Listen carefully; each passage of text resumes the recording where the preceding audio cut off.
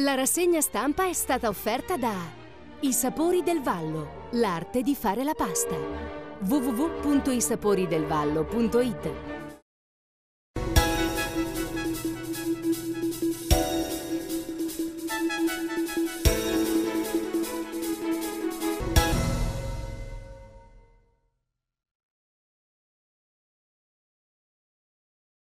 Buongiorno e bentrovati con la nostra rassegna stampa. Oggi è venerdì 26 novembre. Partiamo come di consueto con i titoli del mattino.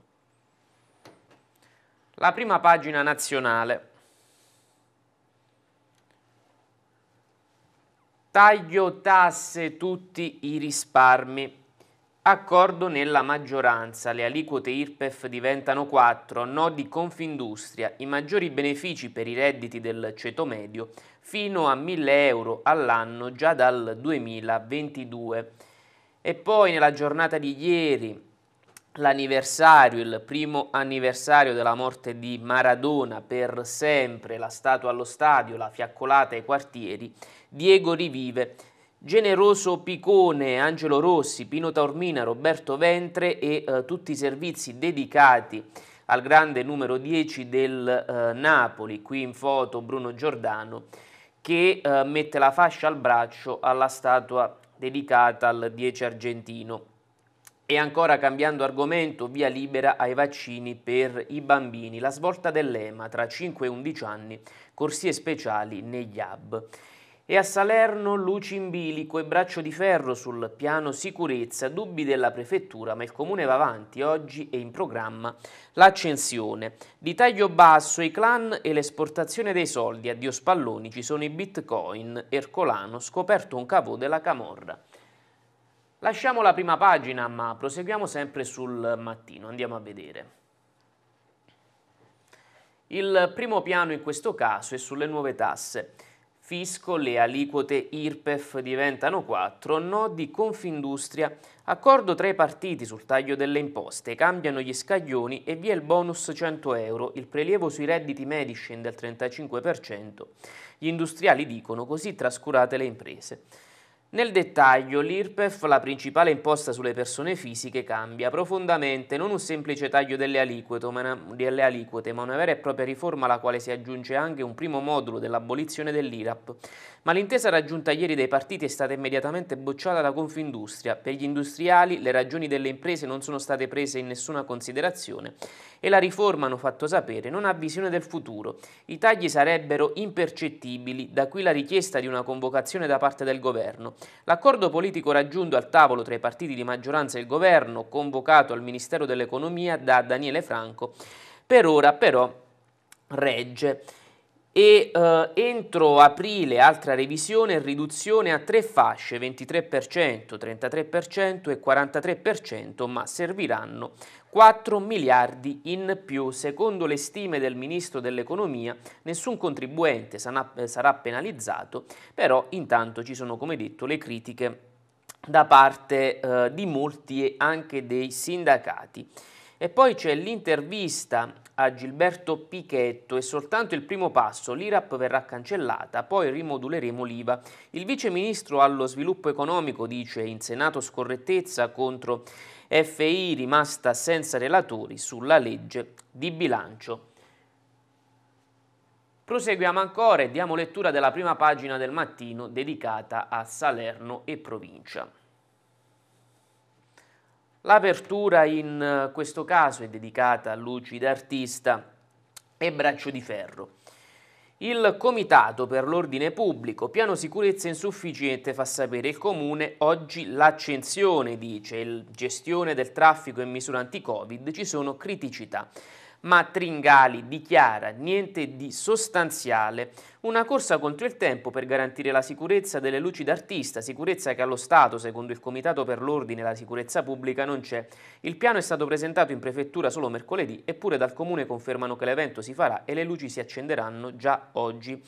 Sempre di taglio alto, maltempo, bomba d'acqua sul lago e a cava, scuole chiuse e incubo frane. Di lato l'inchiesta cooperative, zoccola di nuovo in procura, un faccia a faccia lungo tre ore, c'è l'inchiesta di Benevento. Del mese pressing sul funzionario, bisogna fare veloce veloce. Sul centro pagina c'è la Salernitana, facciamo punti con ogni risorsa, Salernitana a Cagliari, Colantuono senza il trequartista. E eh, cambiando argomento per la pandemia, effetto Super Green Pass, tutti in fila per il vaccino, impennata dopo la stretta del governo, in tanti per la prima dose. Aumentano però i contagi e una vittima si registra a Vietri. E c'è il giallo a Palazzo di Città, Ventura positivo in municipio a Salerno, tutto falso o il via libera dell'ASL fa sapere. E ancora di taglio basso l'incidente di Corso Garibaldi, fiori gialli per l'addio a Gigi, la moglie o il cuore vuoto e poi la tragedia di Agropoli, Calvario tra gli ospedali, muore, c'è l'indagine. E ieri è stata anche la giornata contro la violenza sulle donne, la storia, botte dall'ex, io salva, ma lui ancora libero. E adesso momentaneamente lasciamo il mattino e diamo lettura della prima pagina del quotidiano La Città. Vediamo. Il primario è andato in pensione, chiude un reparto del Ruggi, porte sbarrate a chirurgia toraciche, malati di tumore dirottati tra Napoli e Potenza. Di taglio alto l'inchiesta, zoccola dai PM, parla per tre ore, secretati gli atti. E poi del mese gli amici, regione nel mirino e a Salerno quarantena violata, Ventura denunciato. Proseguendo a Salerno, Luci d'Artista, la partenza in sordina, Caos Security a Roccadaspide, stop ambulanza, ma l'ASL paga un'associazione. E poi a Torre Orsaia, fuggita da Kabul per dare un futuro alla mia bambina, c'è la testimonianza diretta di una donna che vedete in foto, di taglio basso, sfida salvezza a Cagliari per la Salernitana, per cui si tratta di una vera e propria finalissima, Colantuono si gioca il posto senza Riberì, servono punti, dice, stadio Arechi, lavori finiti, sopralluogo per più posti per il match contro la Juventus. Lasciamo il quotidiano La Città ed ora la lettura del quotidiano Le Cronache, la prima pagina ovviamente. Vediamo l'apertura. Quattro ore in procura per eh, Zoccola, nuovo interrogatorio, assegni pagati per le regionali e villaggio di Babbo Natale, atti secretati dopo la verifica dei riscontri alle sue precedenti dichiarazioni. L'imprenditore delle COP avrebbe svelato anche nuovi particolari del sistema. E poi proseguendo, eh, Tringali scarica la giunta, atti non miei, Celano lo accompagniamo noi da Roberti, troppe inchieste mai partite, il contestato assessore alla trasparenza prova a difendersi. E poi tra le altre notizie a Salerno Ventura positivo al Covid girava in comune, è stato denunciato, Super Green Pass, ristoratori contrari e fanno sapere continuano a penalizzarci. E poi cambio nell'UDC per la politica, Ernesto Sica diviene coordinatore. Per le provinciali il PD candida Galdi, lista unica tra Campania Libere più Europa e tra 5 Stelle e l'EU. Ed ora il quotidiano del Sud. La mala sanità in apertura al Ruggi come in un lager. Sul fronte Covid sale l'incidenza, ieri 179 contagi nel Salernitano, denuncia di un anziano abbandonato al pronto soccorso e poi c'è il caso Ventura positivo, mai messo piede nel municipio però fa sapere. C'è l'allerta meteo, disagi nell'agro con circum ferma, oggi scuole chiuse, SOS dalla costiera e ci sono tensioni, stato d'agitazione comunali contro l'amministrazione a uh, Salerno. Sul centro pagina stasera match salvezza decisivo per la Salernitana, decimata a Cagliari, su Colantuono c'è uh, l'ombra di Castori, potrebbe esserci dunque un ritorno del mister della promozione in Serie A. Noi adesso invece ci fermiamo per una breve pausa pubblicitaria, però torniamo tra pochissimo con la seconda parte della nostra rassegna stampa. Restate con noi. Ben ritrovati con la seconda parte della nostra rassegna stampa. Ritorniamo sul mattino e sulle notizie dedicate al Salernitano. Vediamo. Il primo piano in questo caso su pandemia e assistenza. Effetto Super Green Pass e di nuovo corsa ai vaccini. Da 1500 a 6000 inoculazioni al giorno con un importante recupero di prime dosi. Altri 179 positivi, allarme a Battipaglia mentre Vietri piange un'altra vittima. Effetto Super Green Pass e aumento dei contagi fanno volare le vaccinazioni nel Salernitano. Sono passate infatti nel giro di appena 5 giorni da 1500 a 6000 al giorno le vaccinazioni effettuate nei centri vaccinali. Sono 179 intanto i tamponi positivi comunicati ieri all'unità di crisi della regione che portano la conta complessiva dall'inizio della pandemia a 77.972. Preoccupazione a Battipaglia dove si sono triplicati i casi, mentre un'altra vittima del Covid si registra a Bietri come comunicato dal sindaco Giovanni De Simone. Oggi purtroppo registriamo una nostra concittadina deceduta a causa del, a causa del virus Covid-19 ed altri tre positivi. Siamo vicini al dolore della famiglia. E quindi per quanto riguarda uh, lo uh, scenario che uh, si profila, 179 intanto i tamponi positivi comunicati ieri all'unità di crisi della regione, crescono i casi a Battipaglia come detto e effettuati a Sassano i tamponi nel Vallo di Diano agli scolari della prima, terza e quinta elementare del plesso scolastico della frazione Silla, dai quali è risultato fortunatamente un solo alunno positivo. Oggi l'amministrazione comunale ha programmato l'esecuzione di tamponi per gli alunni che frequentano il plesso scolastico centrale di Via Croce, asilo elementari e medie. Mi preme sottolineare che le date scelte per l'esecuzione dei tamponi sono state dettate esclusivamente da ragioni tecniche, chiarisce il primo cittadino Domenico Rubino. Per rilevare l'eventuale infezione c'è bisogno che sia trascorso il tempo di incubazione. Da sindaco, ma soprattutto da medico, ribadisco che in tema di Covid terremo sempre alta l'attenzione. A Fisciano ci sono sette nuovi positivi, alcuni di questi appartenenti a un nucleo familiare di un caso positivo rilevato nei giorni scorsi. Lasciamo questa uh, pagina, proseguiamo ovviamente sempre sul uh, mattino. Il primo piano sulla manifestazione, il caso Luci e Braccio di Ferro, le accenderemo oggi. Il piano sicurezza presentato in prefettura per Luci d'Artista non convince il Comitato per l'Ordine Pubblico. Tringali, non ci sono cambiamenti, criticità, non esistono problemi sostanziali.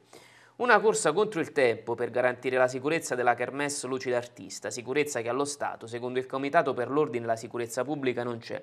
O meglio, il piano è stato presentato in prefettura soltanto mercoledì mattina, a pochi giorni dunque dall'accensione delle luci, ma ritenuto insufficiente dal Comitato che si è riunito ieri mattina. Eppure dal Comune confermano che l'evento si farà e le luci si accenderanno già oggi. Alla fine non c'è niente di sostanziale. Claudio Tringali butta acqua sul fuoco e conferma l'accensione per oggi. Che io sappia, afferma l'assessore alla trasparenza e alla sicurezza del Comune di Salerno, non c'è nessun cambiamento e agenti in strada, gestione del traffico e misure anti-Covid, le forze dell'ordine ritengono insufficiente il progetto del comune, ma eh, l'assessore alla trasparenza dice ci saranno controlli nelle zone più calde, superati i nodi di tipo sanitario. Proseguendo e cambiando argomento, Zoccola torna in procura, tre ore di faccia a faccia con Borrelli e i magistrati. Anche questo verbale è stato secretato. Trema la politica, l'imprenditore di recente ha avuto un nuovo avviso intanto, proprio in questi giorni, dopo che la Procura ha notificato gli avvisi di garanzia per i mercatini di Natale, negli ambienti politici in tanti si chiedono che fine abbia fatto un'altra indagine sorella a quella dei mercatini riguardando invece il villaggio di Babbo Natale. Una storia poi diventata denuncia, venuta fuori in commissione trasparenza, all'epoca presieduta dal consigliere Antonio Cammarota. Anche in questa circostanza la commissione consiliare scoprì che non era stato fatto il bando e che fondamentalmente L'associazione che la organizzava non era senza scopo di lucro, ma celava delle iniziative commerciali. Questa indagine fu seguita dall'antimafia che ordinò alla Guardia di Finanza di acquistare una serie di documenti, di acquisire una serie di documenti al comune. E adesso le notizie dalle aree interne della provincia sud di Salerno. Andiamo a vedere, muore a 76 anni dopo un calvario di 9 mesi tra ospedale e cliniche. La famiglia denuncia e punta, e punta l'indice sul primo intervento a Potenza, trasferito a Eboli e poi a Nocera, ora indaga la procura. Un'operazione a diversi rico e diversi ricoveri passando per tre ospedali, partendo da Potenza fino a Eboli, poi solo per 12 giorni all'Umberto I di Nocera Inferiore, oltre ad una settimana circa a Villa Chiaruggi, poi il decesso, la famiglia Sporto denuncia chiedendo lumi e ragioni di quanto accaduto al proprio caro AC, queste le sue iniziali, un 76enne residente ad Agropoli.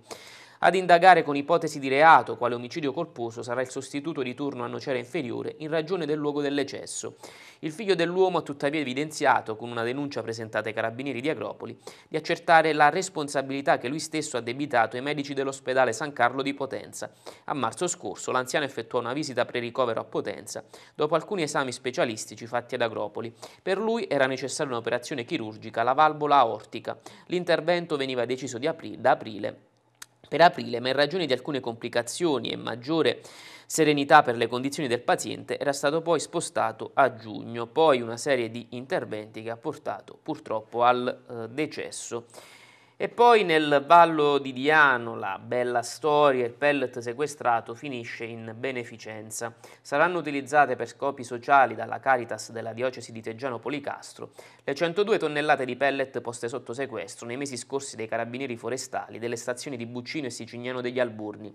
La donazione è il frutto di controlli dei militari nell'ambito della filiera di produzione e commercializzazione del pellet. Si tratta di 6.800 sacchetti già confezionati per un valore commerciale di circa 30.000 euro. Il prodotto di ottima qualità è stato sequestrato tra l'altro per illegalità legate all'utilizzo improprio dei marchi di certificazione. Tutto ha avuto inizio ad aprile scorso quando i carabinieri forestali hanno effettuato degli accertamenti nella filiera di lavorazione e commercializzazione del pellet in alcuni impianti di produzione e distribuzione che usava marchi in modo illegale da qui il sequestro e eh, ad oggi eh, invece si registra dunque questa eh, consegna in eh, beneficenza. Lasciamo anche questa pagina e adesso lo sport, la pagina dedicata allo sport. Si parla di Salernitana come sempre. La giostra Colantuono rischia tutto. Stasera Granata senza Ribéry si giocano una grossa fetta di salvezza. L'allenatore dice dobbiamo andare oltre le difficoltà. Squadra in campo con il 3-5-2, emergenza totale. Veseli non al top, ma gioca titolare. Sarà Jolly in difesa. Schiavone e Castanos assenti in mediana. In Sardegna 300 tifosi. Il trainer si affida al tandem composto da Diuric e Bonazzoli. Vediamo la formazione, il modulo il 3-5-2 come detto. In porta Belez, difesa a 3, Veseli, Gianberg, Gagliolo.